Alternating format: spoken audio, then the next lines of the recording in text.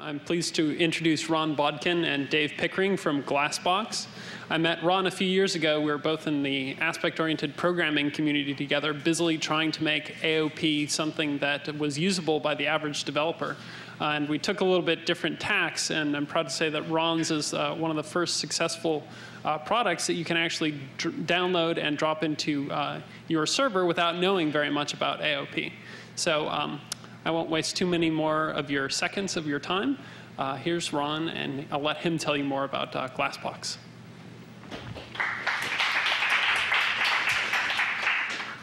Thanks, Nick, and thank you all for coming today. Um, as Nick said, we're here to talk to you about Glassbox, eh, which is an open source application troubleshooter for Java. So as you can see from this uh, illustration of the web client that we use, uh, Glassbox provides you a different way of looking at running Java applications to help you find problems. We'll look at an example of that later. So what Glassbox is doing is it really provides a kind of automated diagnosis. So it looks at what's going on in a running server, and it looks for problems in the application, suggests things that might be causes, and rules out things that are not indicated by what's going on. So it's got use throughout the development lifecycle. In development, uh, it can save a lot of time troubleshooting, especially things that are not easy to isolate in a unit test, you know, interactions, race conditions, threading issues. Um, in the QA environment, it's, uh, it can be very good for, again, testing out integrations, things that might work uh, incorrectly sometimes.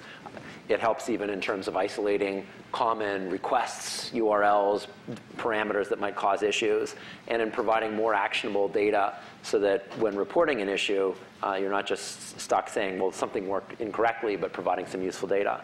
And as you roll out into an actual production environment, it also is designed to be low overhead and work well so that you can monitor applications and identify issues that, happen uh, to more quickly resolve, isolate the issue, and, and, and resolve them, reducing downtime. So some of the key features Glassbox offers are it's got a drop-in installation. So it, unlike many tools in this category, um, it's designed to be relatively easy to get it up and running in a new server. Um, and it, it's easy to use. So you can have a, a web application that makes it easy clicking around to get data about what's going on. Um, Glassbox has an out-of-the-box discovery capability, it uses aspect-oriented programming and looks for common APIs so that it learns an application and can provide useful data without any configuration. Of course, there's also more you can do if you do some amount of investment in configuration, but it doesn't require you to rewrite applications to monitor them, and we think that's a big advantage. And another big thing that Glassbox does is it provides a clear description of what's wrong um, with some supporting evidence so that you can take action. Um, it comes with a notion of a service level agreement that's, that's simple, that doesn't require a lot of configuration, uh, that can be tailored. Uh, so that you basically say if a, if a user request, if an operation uh, takes more than a second, 5% of the time, that's slow. And there's a range of different exceptions of failures that are just problems and get reported as failures. So as I mentioned before, it's low overhead. Uh, it's designed to minimize the actual end-to-end response time overhead that it's required to capture the data. Um, so there's some overhead on startup, but once the server is up and running, the overhead is quite low. Um, you know, we think it's less than 1% from our tests. Of course, you always want to test any system that claims to be low overhead. Um, and it's, it's designed to be easy to use and, and keep up as you evolve applications. So a lot of it is really the benefits of automation what we see thus far is a lot of times when people are, are trying to find out what goes wrong in a system, um, they have two bad options. One bad option is to do a tremendous amount of manual work and uh, to, to dig through capturing thread dumps or pouring through logs to try to figure out what's wrong. And then the other bad option is to, uh, to not use tools, but to just do a lot of experimentation in code. And, and these are awful practices in the best case, and, uh, and often chew up an immense amount of time, especially when, as is all too often the case, it's not clear whose fault it is that something's broken. And we'll talk more about that. So the automation angle, what Glassbox can do by automating is it helps at each phase of the development, right? You, in development, you're spending less time chasing down bugs, uh, less time dealing with a, a, high priority issue that you can't reproduce. Um, in QA, it's easier to report something and make it actionable. And in operations, it's easier to identify what's wrong, right? And the, the list of benefits here is suspiciously similar to that on the last slide, so I won't go through that again. Um, you know, so the summary is most organizations spend a lot of time monitoring their, their applications of their infrastructure. But there's this, this challenge that they face. On the one hand, you see that there's a lot of ability to measure from a business standpoint things that aren't working well. Things that outages, you know, blank pages, unacceptably slow response time. But the, the hard part is you take this data and then you say, well, what's causing it? You know, we know that there's something wrong, but how do we, we drive it down to take action? So there's a traction problem. On the other side, technically, there's a lot of monitoring going on, and, and people have data about you know, bugs and, and things that are trending badly, taking longer, disks filling up. But which of these issues is translating into actual technical problems that affect the user? So you get this gap where you have lots of data on both sides, but you have a hard time correlating it and putting it together. And you know, the, the, other angle on this, so one is technically being able to correlate, the other is just organizational. You can have a problem report and somebody's trying to identify, well, what's causing the problem. They escalate it up to operations and they can't reproduce it. Goes back to support. And then, of course, you have a conference call because nobody can figure out what's wrong. Well, you know, you, get a database administrator, or what do you call a person who administers a MapReduce system? I don't know what you call them, but maybe that would be a better term here at Google. So you, you get the, the, the data administrator, how about that, um, wakes up and they, they think, well, it's a code problem, of course. Um, so th there's a developer who's responsible, but they didn't write that piece of code, so um, they don't know what to do. Meanwhile, you've got an angrier customer and you have another con call with more senior people yelling at each other and, and at all people involved. And of course, uh, you know, it's always amazing to me, you know, on a normal day when you deal with an operations group, uh, you know, they're IMing six people, they've got pagers going off and they're talking on a cell phone, and that's just, you know, things are normal. Uh, then when, you know, in this situation, things really get exciting and you get, you know, managers yelling in both ears. Is it fixed yet? So finally, you know, things have escalated to the point you get the, the, the guru who knows how to troubleshoot this thing off.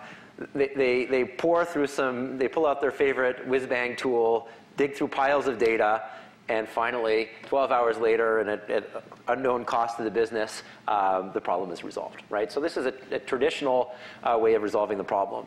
And of course, starting with the uh, everyone's favorite way of identifying problems in production, which is a customer phone call. You know, we've talked to organizations where they measure problems by how many thousands of angry customers call in to indicate something isn't working well, right? So what Glassbox is trying to do is, is really work with an 80-20 rule. So we, we think that most of the common problems, most of the business impact from outages are, are caused by a relatively small number of relatively common things, and, and that, that it's worth optimizing to, to fix those first.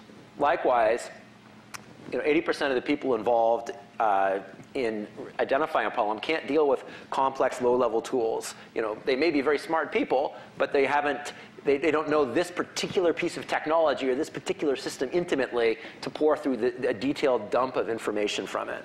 And 80% of the expense and, and, difficulty in troubleshooting comes from handoffs, miscommunication, trying to get on the same page. It's hard enough when everyone is, is just operating normally, let alone when there's a crisis and, and things are not running well to, to do a good job. And of course, the other thing is most people are not the best troubleshooters under the best of times. There's this very bad human tendency, I've done it myself, I think all of us do, um, to jump to conclusions. You see a little bit of data and say, well, this is the issue, and then start pursuing evidence to, to support this hypothesis. And of course, that's a great way of getting, wasting a lot of time if your guess is wrong, right?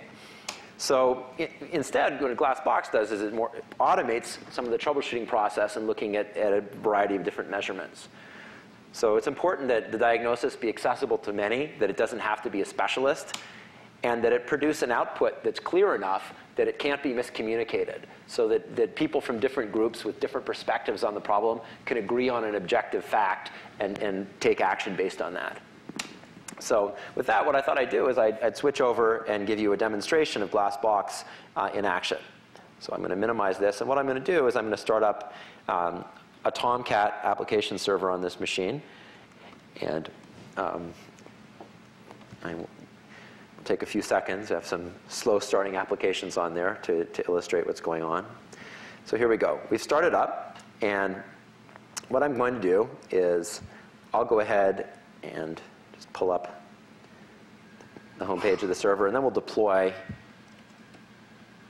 Glassbox to the server. Let's see what I do. So let's see. Well, the server's up. That is an error page. So let's go ahead and take Glassbox uh, is distributed as a, a, web application, a WAR file. Um, you can simply deploy it. Everyone's favorite way to deploy stuff for Tomcat, in spite of all of those uh, admin tools, is probably this: copy files over to a web apps directory. So that's what I'll do. It's a little easier than uh, clicking through an, an, an, admin tool, and it's deploying. And then what, what you have with Glassbox is you have a, um, an installer. So you deploy the web application, and it guides you through an installation process. So we'll go ahead and Oh, I think I jumped the gun. It hasn't finished deploying yet. The disadvantage of demoing live things is uh, you have to have a few stories as servers go ahead and do their, their, do their thing. So we'll just wait a second while Tomcat does a deployment. And things always take longer when you're demonstrating them live, don't they? so of course, uh, the, I, I, know that the, Google's uh, app server of choice is, is a customized version of, of an open source server. Is it based on Tomcat? Is that right? You, would have to kill me if you told me. Okay. It's custom altogether? I think I'd stop that and start it. All right. That's bizarre. Okay, of course, just when I stopped it, that's when it started. It, it responded let's, uh, well, it's now deployed, so I can start up and just have it running.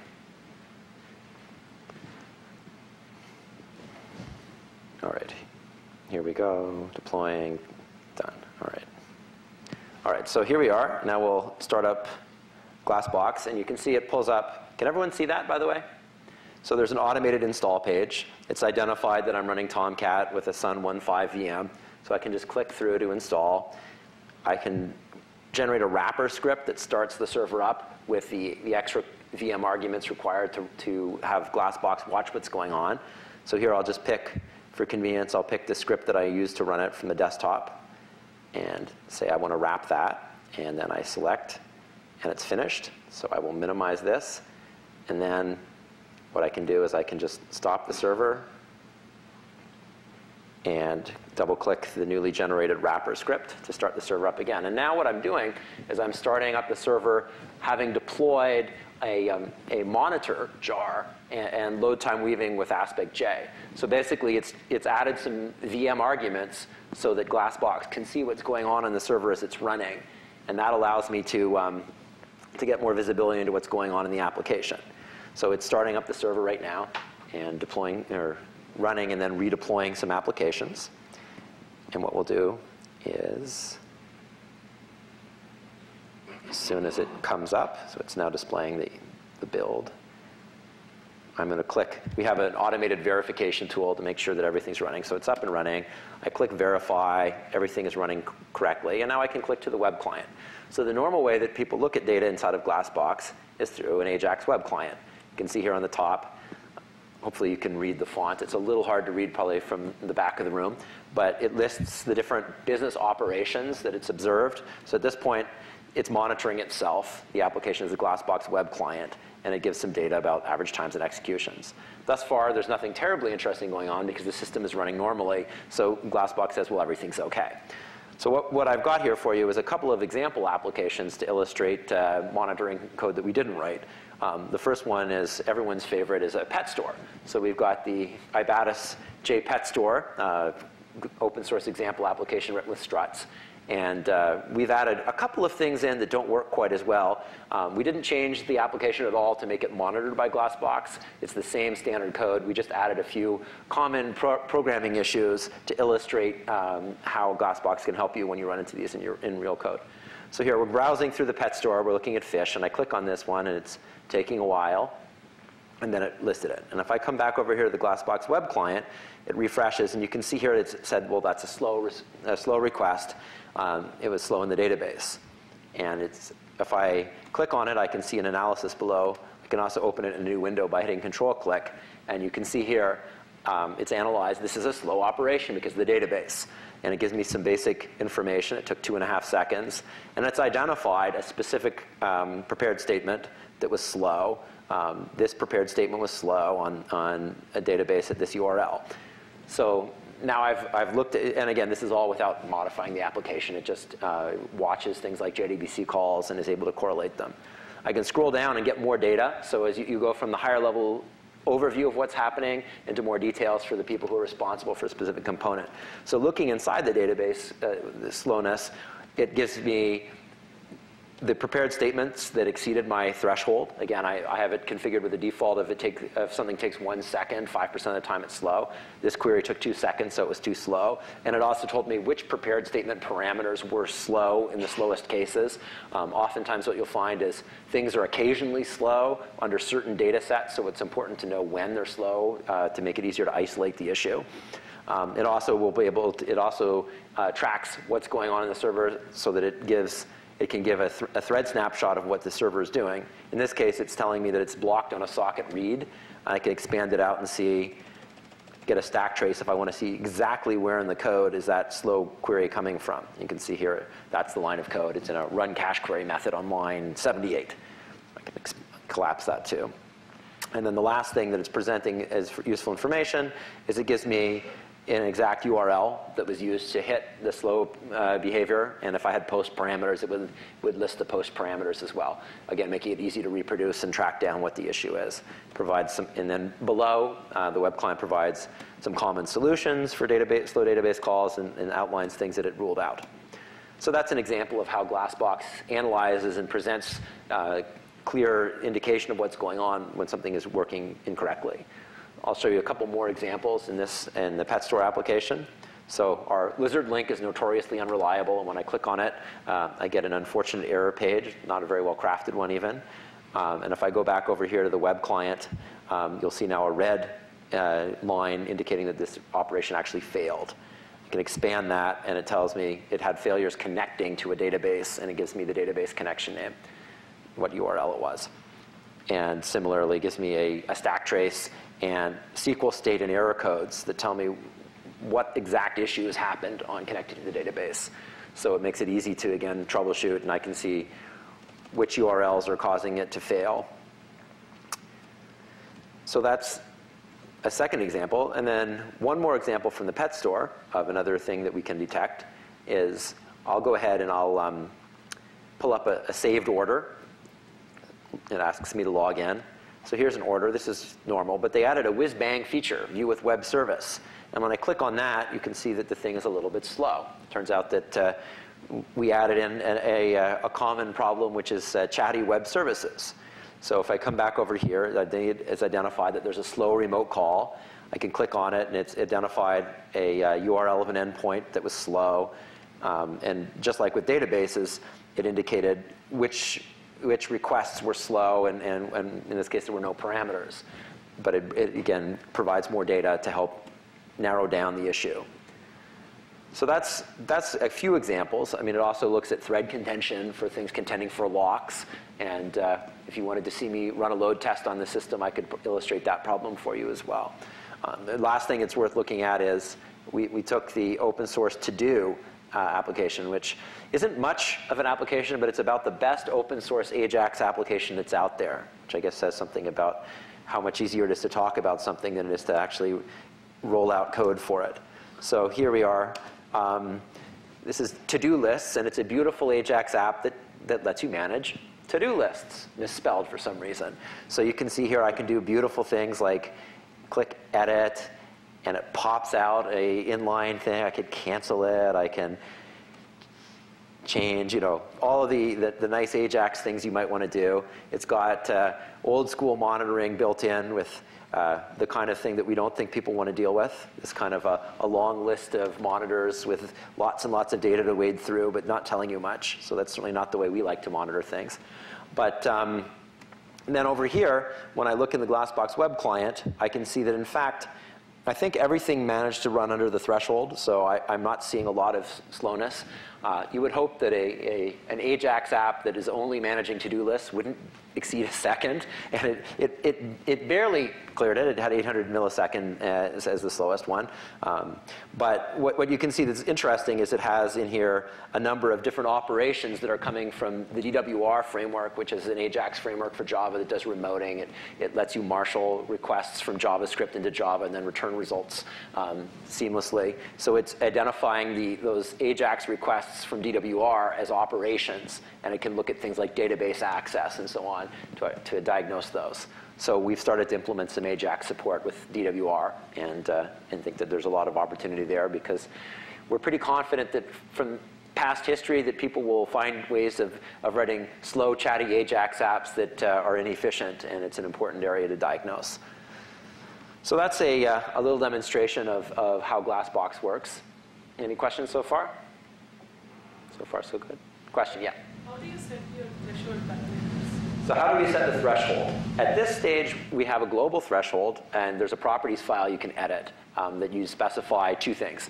What's the time threshold for something to be slow, and what percentage of time does it need to exceed it? Um, a natural next step would be to allow you to, to configure things in groups or by packages, so you could have more fine-grained fine configuration. That's something that we're probably going to do relatively soon. Um, there are other options Something we'd like to do later on would be having more of a training mode where you could run the system once under sort of normal load and say, this, the system responded like I'd expect here, and then if it deviates, tell me in future. So at the, but at this stage, it's a, a global one and, and looking to drill down into having more configuration on individual operations. Yes?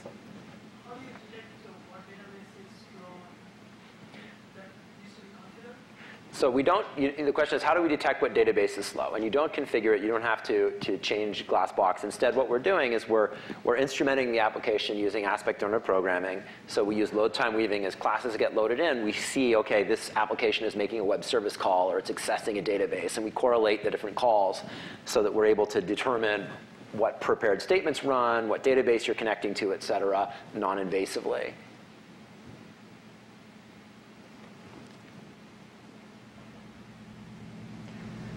So let's. Uh, Can you get a little bit stronger? The uh, you don't need to recompile. You don't need to bake us in. You know, drop us in on top of your already existing app, and everything's cool. Right. So Dave wants me to reemphasize that you don't need to make infrastructure changes to recompile to put Glassbox in or to, add API calls into the application or to reconfigure. So it's very much designed to be something that you can, you can deploy it with an existing app and get useful data. Um, and with a, you can put additional investment in if it's adding value for you to, do, to get more out. But out of the box, you can get the kind of results that I showed you here where you were able to, to see common problems like slow database, misconfigured systems, and get useful information to troubleshoot those. Yes. How do you store all these instances of you know problematic situations? Because I guess if you know if you run, for example, an application that runs in production and you know the customer hits it, or various customers actually hits hit it like a few hundred times a second, every time the database is slow, you of quickly get a very large number of these kind of problems. How to save them? So the question is, how do we save the data? So Glassbox is rolling up aggregated statistics. So it's not, it's not saving a transaction trace for each request, because that would become an overwhelming amount of data. So the way the thresholds work is if something is slow once in a blue moon, we're not going to flag that as necessarily an issue. Um, you could certainly change it to like 0.001% of the time slow is too slow, and then you know, we'd flag it if it were ever slow. Um, and, but we save data about the things that are exceptions. So if there's a failure or a slow behavior, we're going to save some data about that. But if there are tens of thousands of normal requests that go through, we, we don't save data about it because they're not the focus. You're not trying to troubleshoot those. I understand that you don't save kind of normal uh, requests, but still, uh, the, the, number of these kind of uh, errors may probably grow. Right, so we have, we have a limit. We, we keep like the last five failures. We don't keep thousands and thousands of them. Again, for the same reason that we, we want to help you narrow it down. If you're running into a situation where something is happening thousands of times and say an exception is happening, um, then I would submit either you've got a lot of problems or else that's not really an error in your application. It's relatively easy to tweak it, Um, we haven't run into a lot of cases where people have said, okay, the system is identifying thousands of errors here. But uh, you know, there, there are certainly, you certainly could, if you really cared about just this one error, uh, you know, I think the right the right way to handle that would be more of a user level trace. We've talked about that. It's not too hard to implement with what we've got now, where you could basically turn on a bit in the session and say, watch this request and report on it separate from the others. So if you wanted to identify a very specific problem, that's how I would evolve the technology to go after it. I mean, and, and, there's another part of your question that also is, you know, in a clustered environment, how can you look at what's going on? And Glassbox does have a way of configuring connections and saving them so that you can aggregate data across a cluster.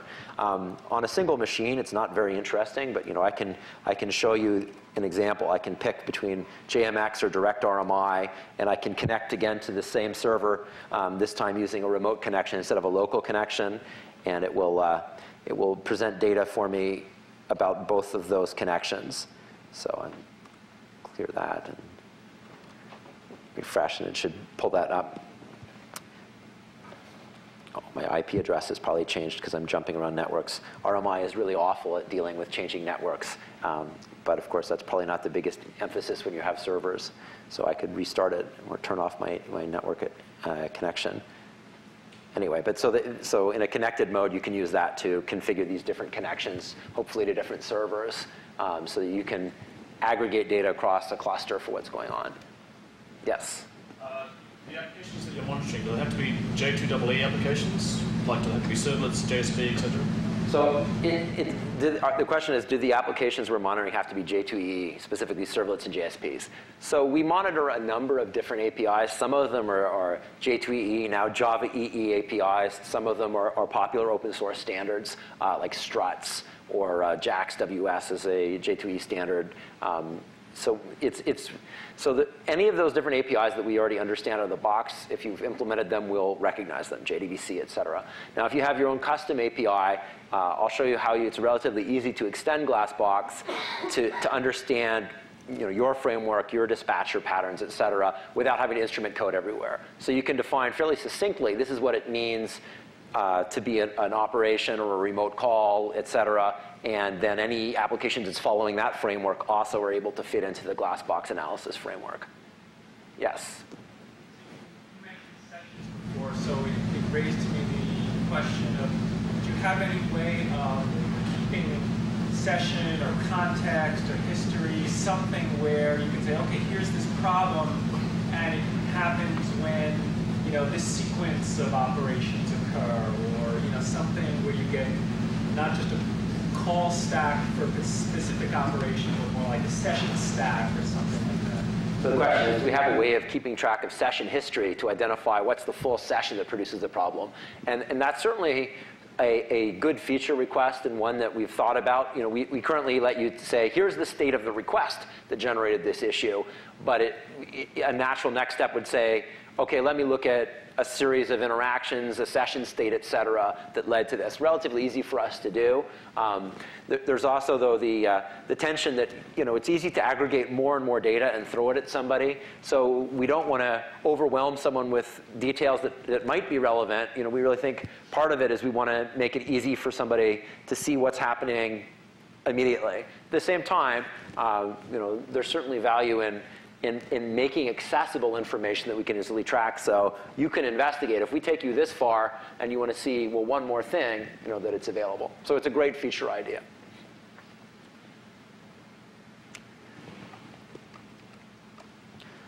So one, one of the questions that often comes up in, in any system like this is what's the performance impact? And uh, what we've found is that there's very low overhead at runtime, so that it's, it's, we think it's quite suitable for production use. And we have some, some uh, customers, organizations that are using the technology that are uh, testing it with the plan of putting it in production. Um, typically what we'll see is the, the end-to-end response time increase is about 1%. Um, and the reason why is because we're much more selective in, in gathering data. So systems that, that want to instrument every method that executes and capture, build up detailed data structures to provide profiler-like profiler data um, have a hard time achieving the, the often quoted 5% overhead number. Um, in our case, we're really not doing heavy instrumentation. And we see when you want to dig deeper that it's more sensible to use a spotlighting approach instead of gathering data across everything.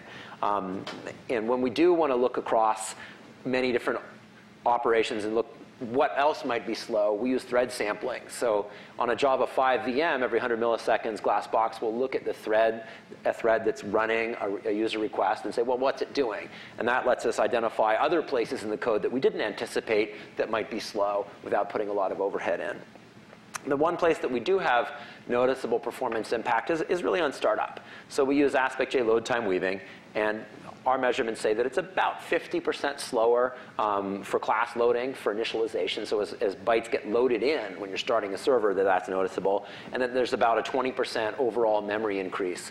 Typically, it's data that's used when you're loading classes. So once the server is started up, that is no longer in the working set and can be paged out to virtual memory. So unless you have a, are running up against the virtual memory limit on the machine, it probably won't have a performance impact.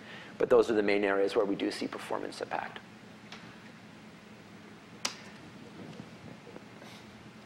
So, you know, the, the, Glassbox is now all open source. Uh, Glassbox 2.0 is now in beta, and it really brings together the AOP approach to gathering data with using JMX and other uh, to gather especially VM level data and then provides it to an analysis engine that runs inside of the web application so that it can correlate and produce uh, summary findings. Um, again, with a focus on identifying common issues so that you can easily uh, resolve them. And you know, as we continue to advance, we, we keep looking at, well, what are additional issues? What are additional things that we can help with? It's under L an LGPL license. Uh, it supports Java 1.3, um, although Java 1.3 uh, testing is pretty limited, so 1.4 is recommended. I'm guessing you're probably using Java 5 anyway, right? So the slide is actually out. We already are in beta. It's early September. Yeah. Uh, you mentioned in the database the uh, death by a thousand cuts issue. I I imagine that's uh, just too many calls to the database. Each one takes a little time. Good guess. So yeah, the question is, well, what is death by a thousand cuts? Death by a thousand cuts occurs in, in almost any kind of a remote resource. The tendency to, to, to make an excessive number of requests, none of, no, each one of which is relatively quick, but they add up. And you know, this is a common anti-pattern with database. People are, are, using OR mapping tools will often find themselves uh, inadvertently stumbling into this. Say they map a collection that gets loaded lazily, and as they iterate over, each request for a new row generates a database request. Um, it's a popular way of slowing down a system with, with web services. You know, you write a lot of fine-grained web services calls. It's going to be a popular way of slowing down an AJAX application to make lots of fine-grained requests for data and treat it as if it's a local call. Yeah. I'd be interested in seeing uh, how you show you know, a, a, case of that, that that's of interest. Okay. Um, do we, is it, I'm trying to think if our example makes it easy. I mean, we've definitely I, if I ran the load testing tool, maybe afterwards I'll, I'll try to pull one up for you. I don't want to try to do it while we're videotaping and everyone's here the, during the talk, but I could show you an example afterwards, definitely. I mean, the summary is it shows you a list of the ones that have notable times, so you can see all of the different ones that run um, with the request that caused it. And that gives you a pretty good trace for you know, what's the sum total of things that are happening to help you reason about which of these things need to be changed. Death by a thousand cuts is one of the harder problems to fix because it's, there's usually not a quick fix. You can't go in and add an index to solve death by a thousand cuts. You need to rethink the design of the operation, but at least we can help you identify what queries are causing the problem or other statements. So some of the things that Glassbox won't do. Maybe I should just go to full projection mode here. Um, it won't solve problems that haven't happened yet. So uh, it doesn't try to anticipate future problems. It's, it's more going to report the things that have already occurred. Um, it, we don't claim that we're going to diagnose automatically every problem. Instead, we're really trying to focus on the common ones, the ones that, that cause the most problem. Um, that being said, certainly we think whatever, whenever there's a problem, we'd like to, to give as much useful data to start with as we can. So we'll tell you as much as we, we do know to help diagnose it. And for the ones that are really common and that we understand well, we can really make it dramatically simpler. Uh, you know, we're, we're not trying to be a, uh, a tool for all people. We don't want to become another data viewing, you know, crunching, number crunching tool. You know, we, we, think that there's room to integrate with monitoring tools and analysis tools to provide good output, but we want to be more focused on the, the initial troubleshooting. And it's not workflow automation. So, you know, and, and talking about 80-20 common problems and, and how we can solve those, when we started the project, we spent a lot of time looking at examples of things that had failed from our own experience, talking to others who'd spent a lot of time running and, and debugging large-scale server applications. And you know, we, we categorized them like this. So we looked at things like hardware problems, configuration problems, application server problems, et cetera, and, and tried to, to organize them and say, you know, what are the, the most popular things that people do that cause applications to break? And then, you know, what can we do to automate tests to simplify fixing those? So this uh, fishbone diagram, as it's called, illustrates some of the ones that we've, we've run into. And one other thing that's worth noting, in addition to providing the web client, there's also, a, you can use JMX Remote to access Glassbox data. So the JMX management API for Java allows you to make remote connections in. And you can connect into a running um, server running Glassbox and get data out. So I'll show you a quick example of that here. We've got the server running, and I'll just pull up a console, which is a tool that comes with Java 5 that lets you connect to um, remote servers and look at JMX data. And you can see here that there's an additional topic here. So uh, Tomcat has lots of JMX data built in. Glassbox also exposes a statistics tree, so you can see here organized by, at the top level, application. I can see the, the various different operations that the to-do application has, or I can look in the pet store and see a nested tree inside of action servlet. We, we filtered out to pick the actual struts actions as the things that are interesting. So I could look it down here at view order action and see database access. And you can see all of the different pieces of database access that we monitored that weren't terribly interesting, so we didn't identify them, call them out. But we were watching, and you can get more detail through the JMX J console if you want to dig in and look at, see, well, what exactly happened here. So it does expose low-level data in this format as a way of of providing additional information when needed. But we also don't think that this is a great UI for overview and monitoring and, and top-level troubleshooting. It's a good resource to dig into if you need to. So another question that, that, we talked about briefly is, you know, how can I extend Glassbox to understand better an application that's, that's, not, that's not using maybe all the APIs that Glassbox currently understands? I mean, it's designed to have a very good plug-in architecture, so it's easy to extend, to, to add support for new types, to, to plug them into that infrastructure. And some of that comes from AspectJ's load time weaving support. So you can you write something about this simple, this piece of XML that says, um, I'd like to extend my notion of an operation to be anything that's inside of the com.myco.service package or its subpackages then any types in, those, in that package, the operations inside of it will be considered to be um, a, uh, reported on as operations by Glassbox. So it'll show up as an operation.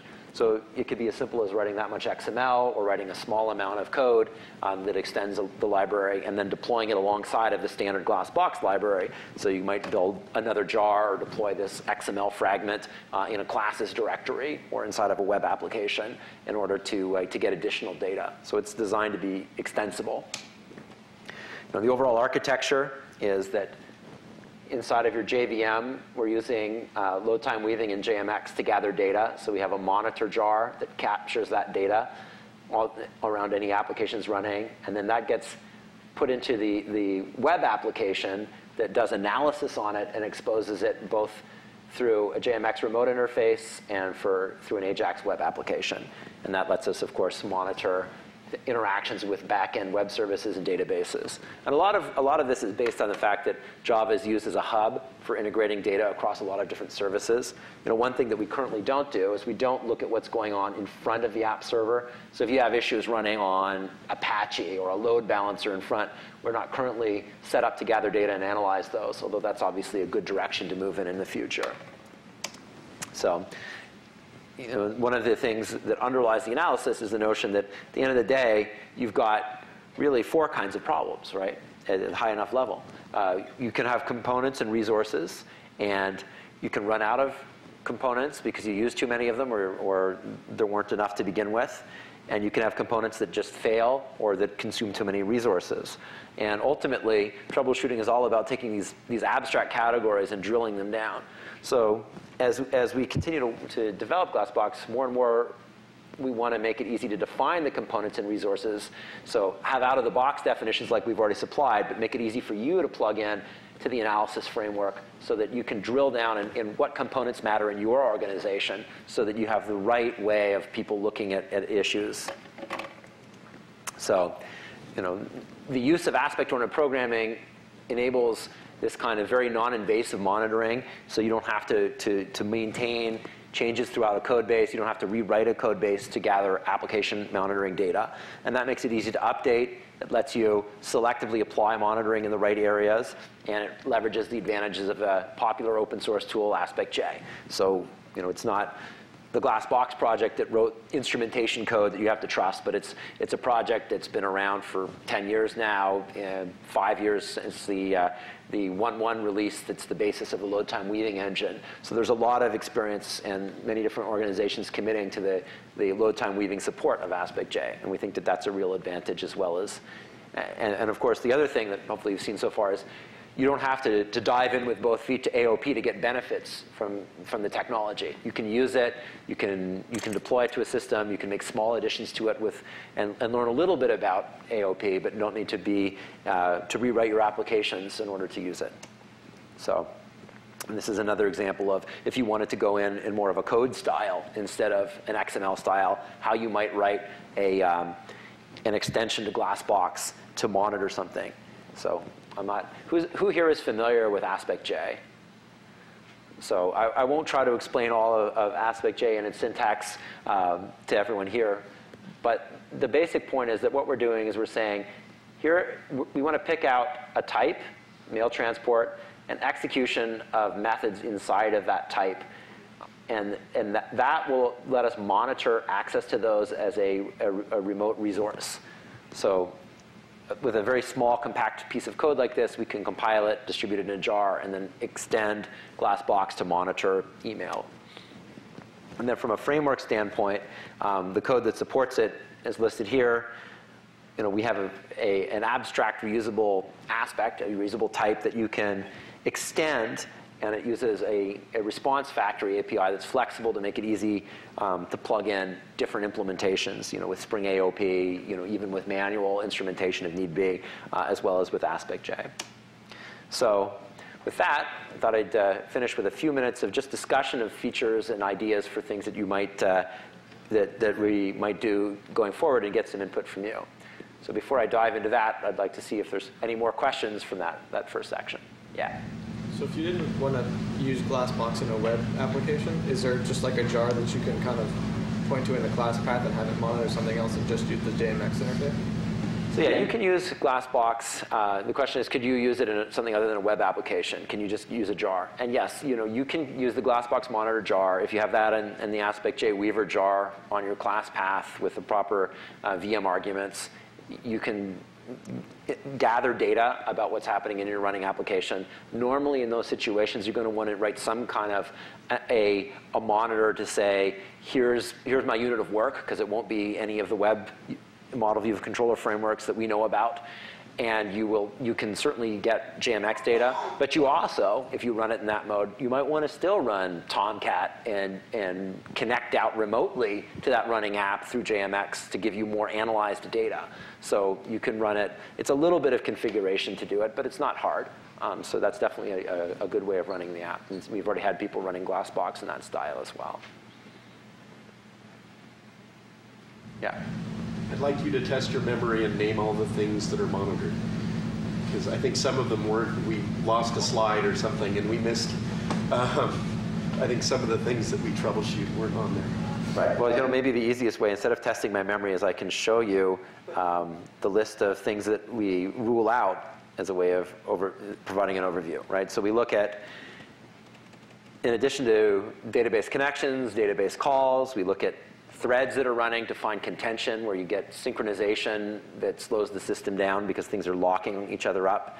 Uh, failures in, as well as slowness in web services, EJBs and other remote calls. Things that use too much CPU.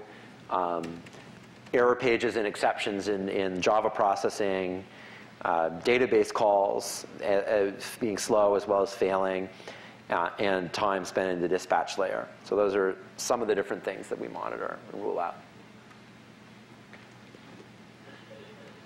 All right.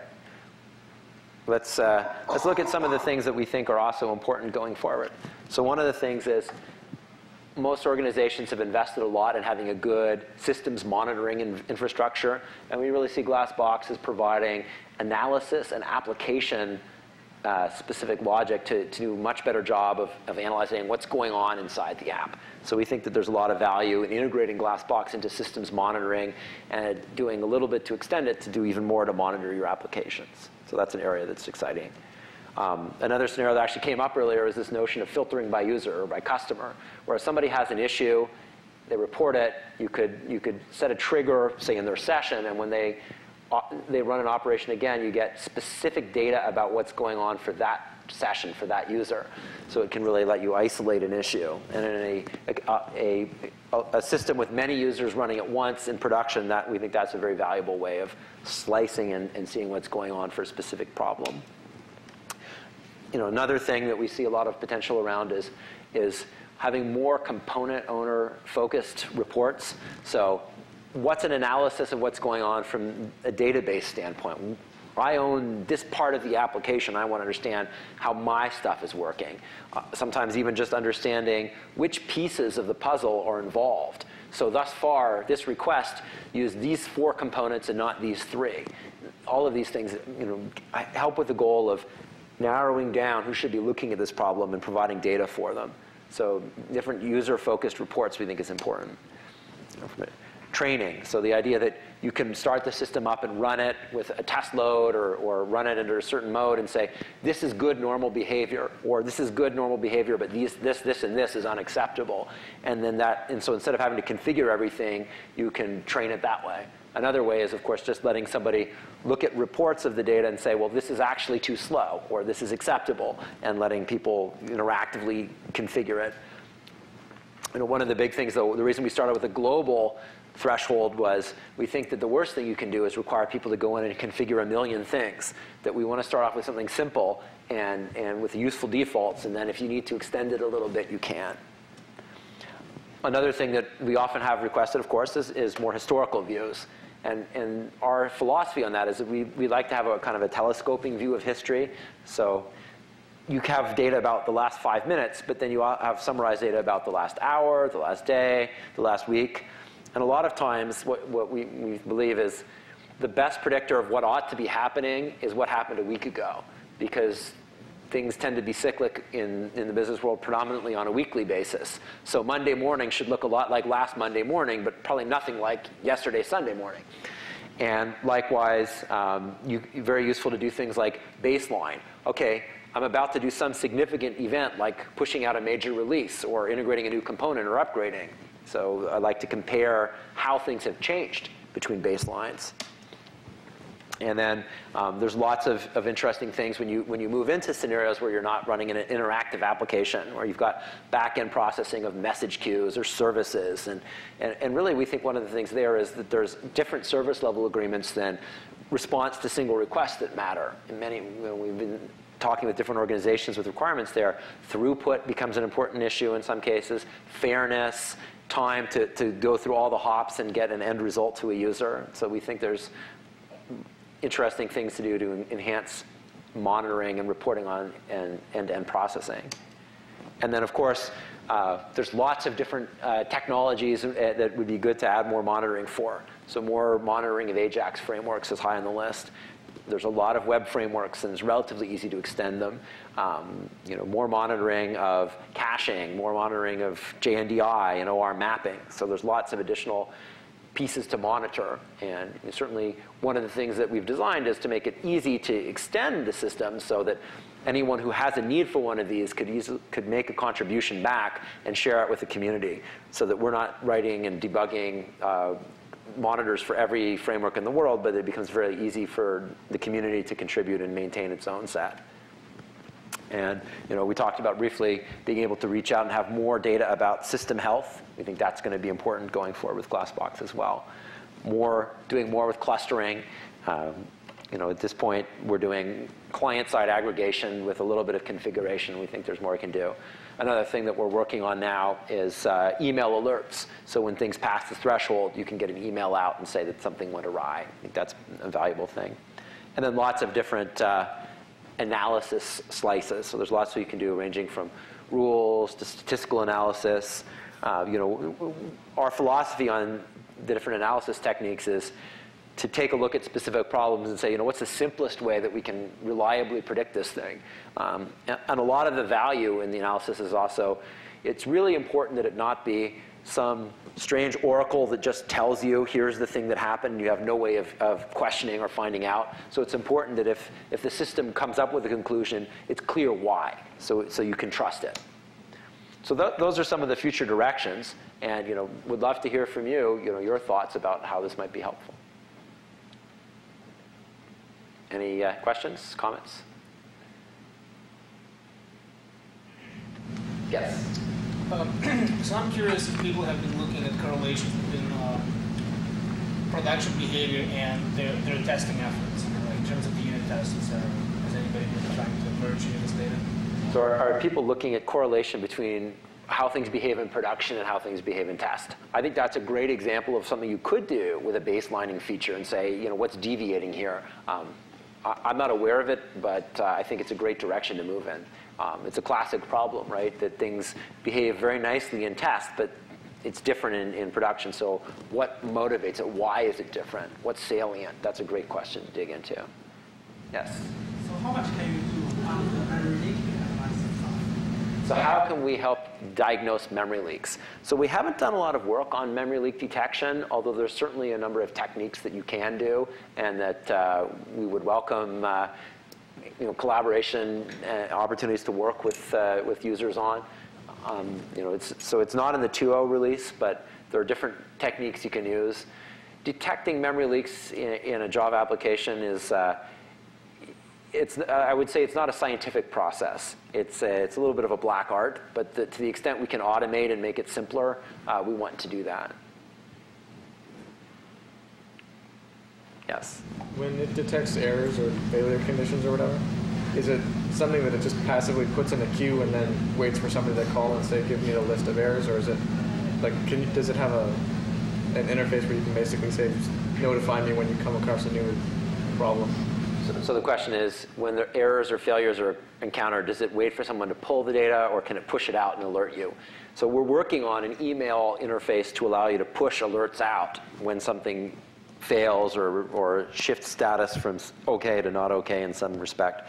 Um, we're close on that and configuring email and making sure you can do that correctly. So that's, that's coming soon. So the current version, you go to the web page and you, you monitor it, but email alerts is, is coming. So you, didn't want to run it in a web server, you just wanted to kind of log when something happened, you just spit it out into some text log, and you just, at the end of the day, look at all the exceptions that kind of popped up. That's something that would be possible after you do email alerts, or is that completely separate? That is separate. So the question is, is there a way of having an exceptions log? And it so happens there is a feature that's uh, in the, the, the, system that will generate a log of exceptions. So a request that's failing or exceeds the performance threshold, it can write it to a log. It's a logging topic you configure in your, logging system. So if you wanted, you could tail that log and, and alert based on that.